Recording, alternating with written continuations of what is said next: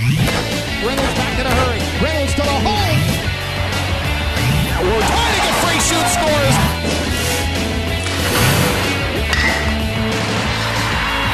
Takesha Granberry on target. Lundy to the house. Touchdown, Virginia.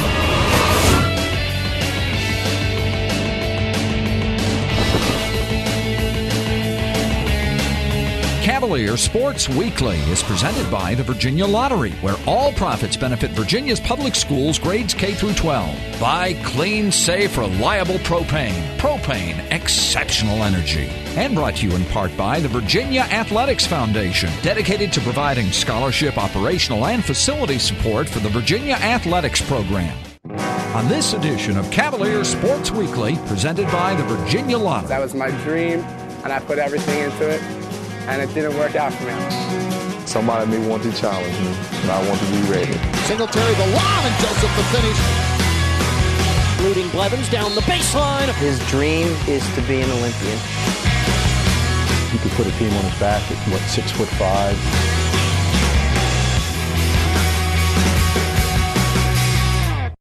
Welcome to Cavalier Sports Weekly. I'm Kristen James from the women's tennis team.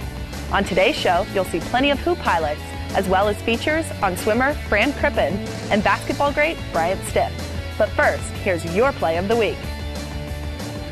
The play of the week is brought to you by SunTrust Mortgage. We make the American dream come true every day.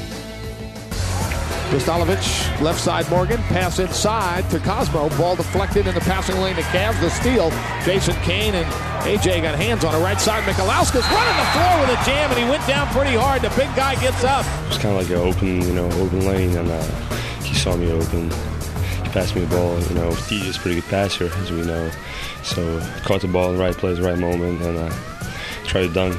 And that guy went for a block, and he missed him. So got end one. It's you know, pumps up crowd, and I like dunking too. I'm J.R. Reynolds, and Cavalier Sports Weekly will be right back.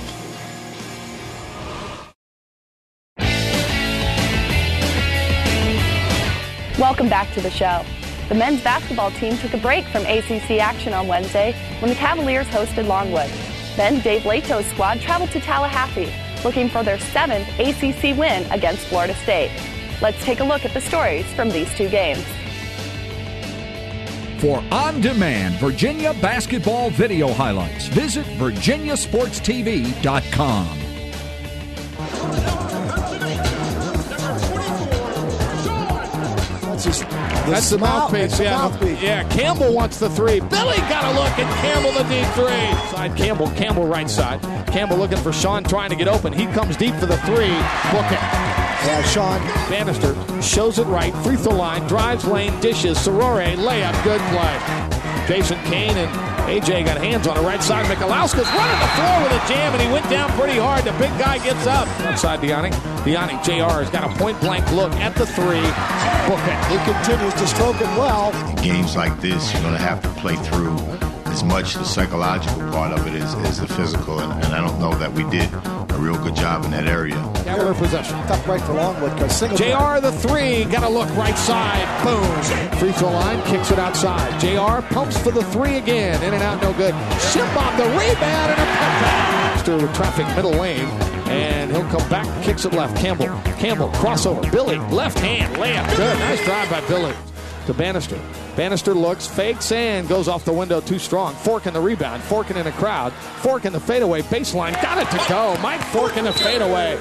We had to be more mature when we come out to play now uh, because I mean, there's no way those guys should put as many points up on the boys they did. But it's just we had to just mature as a team. We're still a young team, and it takes time.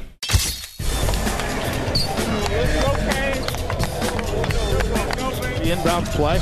Joseph to handle. Joseph in the corner. Got by his man from 18. The jumper is good and one. Didn't get either one to go. Mims in traffic. Mims pulls up 15. Jump shot good. Uh, Florida State doing everything right. Timeout, Dave Leitao. They set the tone very early. It was six to two. Uh, we were already back on our heels and really never recovered from there. Reynolds trying to get by his mind. Back to TJ. TJ inside. Dumps Lars. Layup. Good. Nice job by TJ. Cain drop step. Cain kicks it outside. Galloway got a hand on it. Bannister handles. Bannister got by everybody. Layup with a little guy good. Bannister goes to the hole. Thornton. Thornton to the right side. The Wilson for the three. Got a good look. Good. That's pretty much a dagger. They did a great job of, of getting good shots, and uh, their defensive intensity really got us back on our heels. And as a result, they shot the ball well, and we didn't. Uh, and therein lied uh, uh, the story of the game. Where the Wildcats got the big lead and walked away with it. J.R. Reynolds looking for the screen, got the three. Wilson wisely gets on the same side of the floor and gets open. Inside, layup good. Singletary had to work for it. He got to the rack. T.J. Bannister.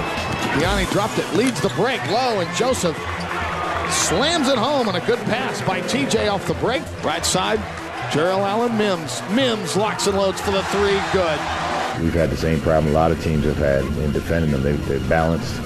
They, they've got terrific inside players, and they move the ball well. And the rebound Cavs. It'll be Singletary. Singletary the lob, and Joseph the finish at the other end. The state, they have played very well. They came out with the intensity we anticipated. JR reverses coming to the left side, and JR gets the layup. They certainly have continued to play hard and defend. Wilson, a deep, deep three, and he leaves the arm in the air. When you don't have everything that you need, whether it's a deeper bench or all your components are there, and it gets exposed on the road, and that's what happens to us.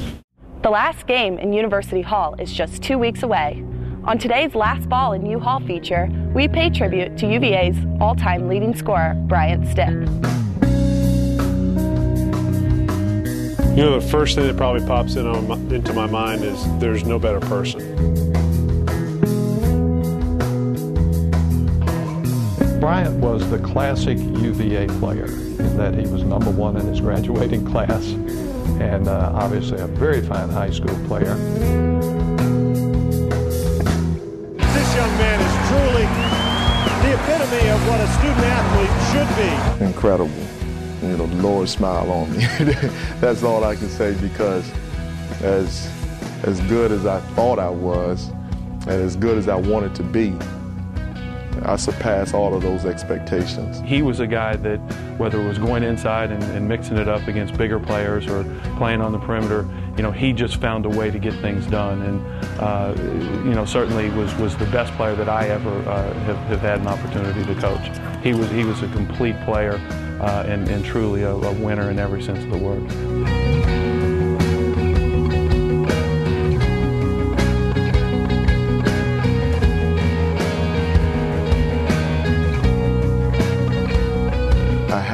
A, fire burning inside of me that I wanted to prove so many people wrong because the people thought I couldn't compete at this level.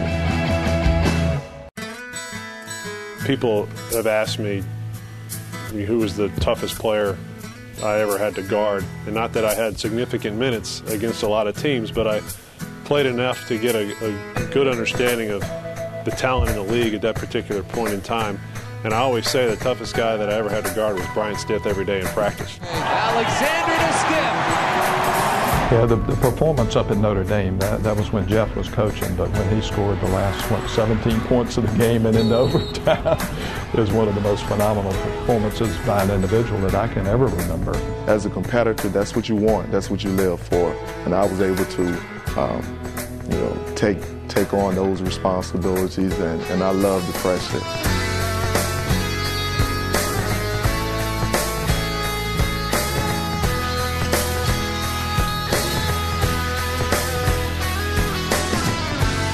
I'll never forget we played at, at Georgia Tech, and we were down one, uh, ball out of bounds underneath our basket, and we had to score. And the coaches, we had called a timeout. The coaches were trying to diagram this play and that play, and Bryant comes in the huddle and says, "Just get the ball to me." And the huddle just got quiet, and Coach Jones said, "All right, we're going to get the ball to Bryant." Certain guys just have uh, it goes beyond ability. He could obviously shoot, he could drive, he could play defense, he could rebound, but I equate him to Michael Jordan. He just had that edge. He wanted to win. Uh, he could put a team on his back at, what, six foot five, six foot six. If you go out to my car today, right now, I have my basketball with me, only because at any point, at any given time, somebody may want to challenge me, and I want to be ready. Even my kids, you know, my kids, you know, they're 10 and 11. I love them dearly, but I know it's gonna come a time they're starting to understand all of the things that their daddy accomplished, and they are getting a little, they're getting a little brave. They're starting to talk a little trash. So I have to be able to stay in shape at least for the next five years so I can maintain my dominance over my boys.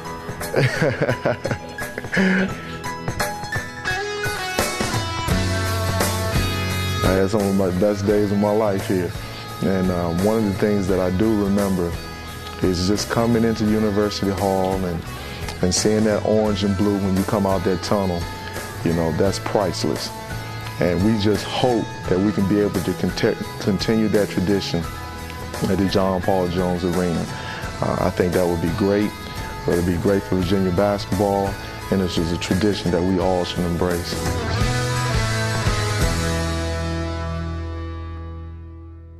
Coming up next. I put everything into it, and it didn't work out for me.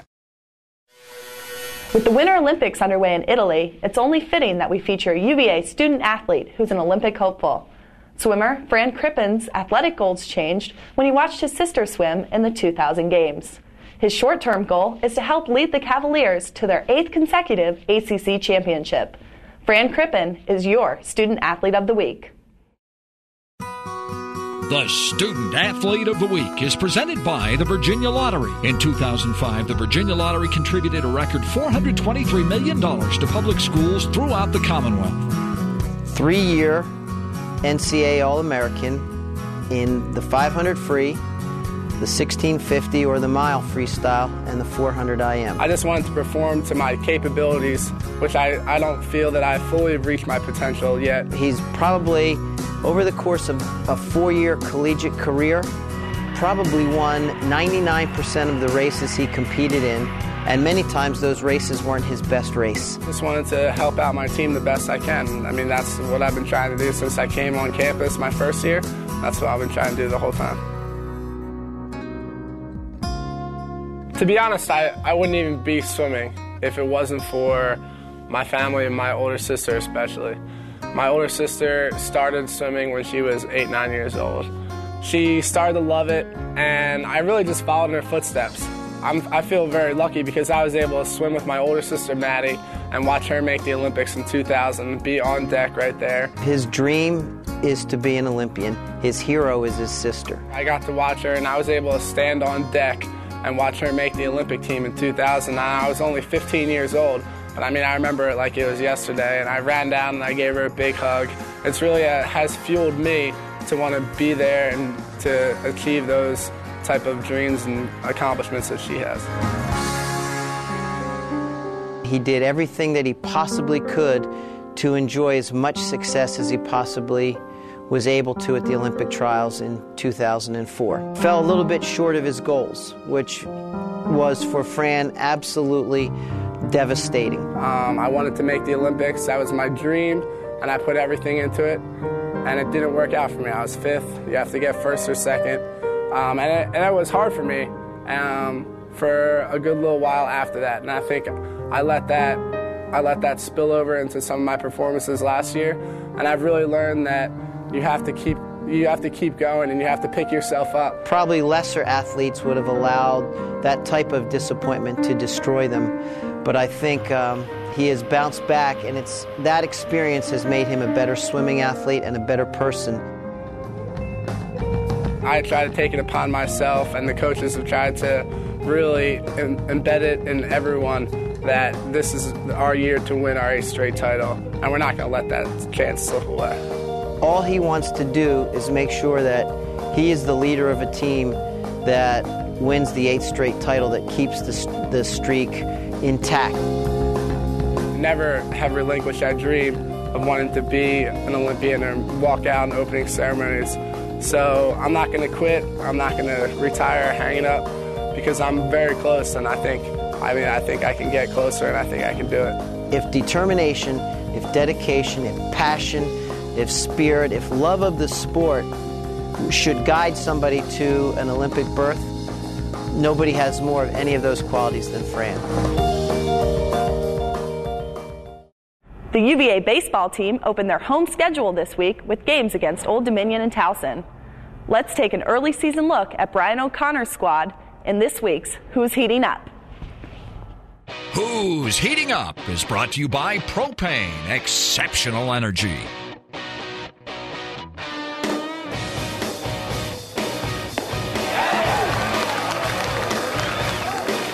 I've always said this, and any manager ever said this, it comes down to starting pitching. You know, um, you get yourself quality starts in a ball game, you have a chance to win. Mike was really sharp. He works fast. He throws a lot of strikes. He, you know, he's going to attack the zone, and he seemed to have the game under control and, and pitched very well. You know, I was just trying to, uh, you know, just trying to set a tone early for our ball club. You know, I was basically just trying to uh, provide momentum for our offense and just uh, support our offense and let them get going. I tell you, anytime you've got uh, new players in your lineup on, on your on the field, it's important to try to get a lead in the game. You know, you're always more comfortable in what you do offensively and just playing the game when you have a lead. It's always a little relief uh, just to get things started, um, kind of get a little cushion, makes it a little easier out there.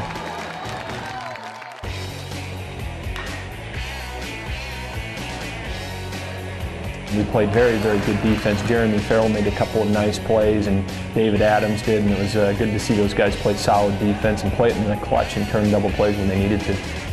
It's going to be a learning process for them every day, and it's just a matter of how they continue to develop and adjust to college baseball. Find out why more people are choosing clean, safe, reliable propane. Visit usepropane.com. Propane, exceptional energy. I'm Saida Williams, and Cavalier Sports Weekly will be right back. Welcome back to the show.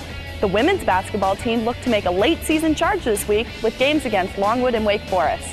Let's take a look at the action from the hardwood. The Women's Basketball Spotlight is presented by the Virginia Athletics Foundation.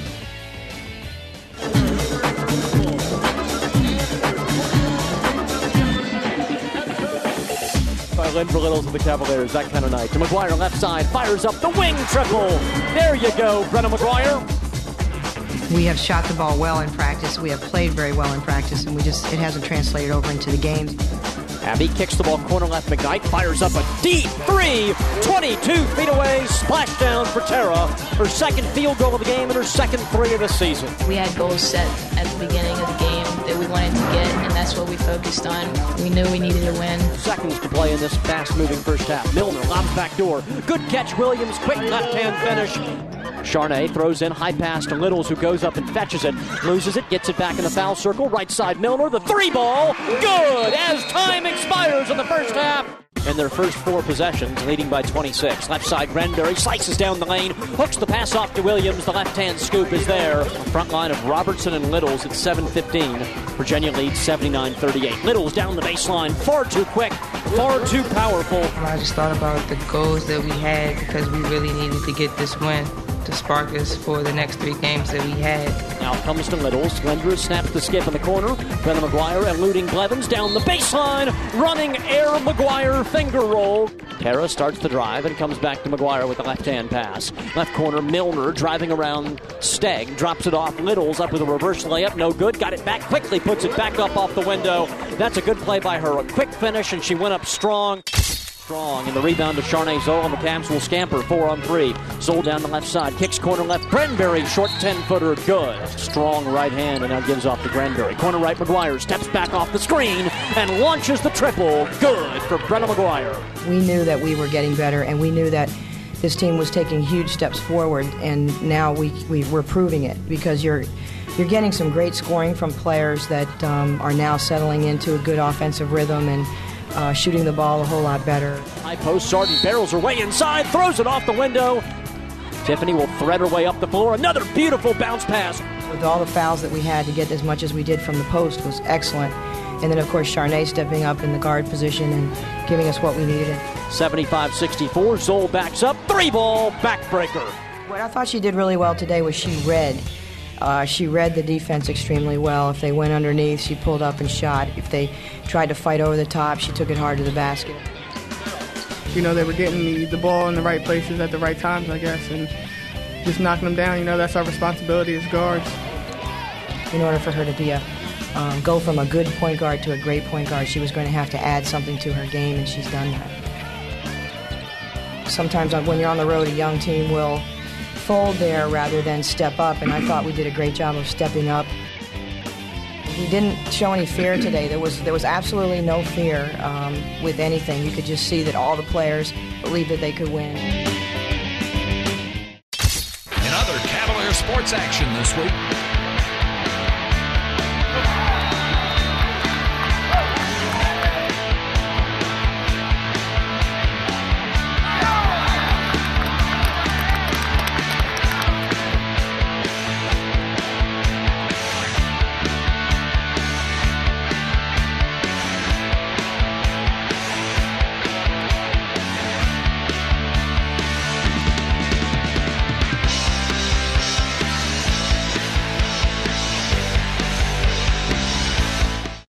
Thank you for watching Cavalier Sports Weekly.